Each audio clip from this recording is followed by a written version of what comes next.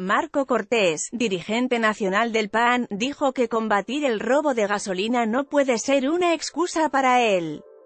Desabasto. A través de su cuenta de Twitter el panista exigió al gobierno federal que busque soluciones para resolver este problema que se está presentando en diversos estados de la República. Indicó que los mexicanos no solo están pagando cara la gasolina, sino que también ahora ven afectadas sus actividades productivas y cotidianas debido al desabasto de combustibles o las Largas filas en estaciones de servicio provocan imágenes similares a lo que ocurre en Venezuela.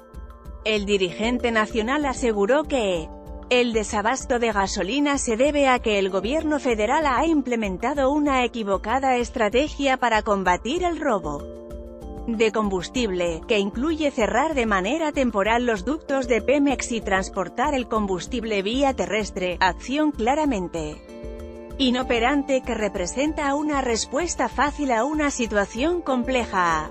Cortés dijo que el robo de combustible debe combatirse profesionalmente. De manera estratégica, efectiva y sin afectar a los ciudadanos, con el uso de tecnologías que detectan en tiempo real.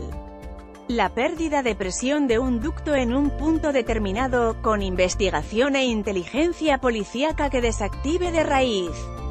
Las redes criminales del huachicol.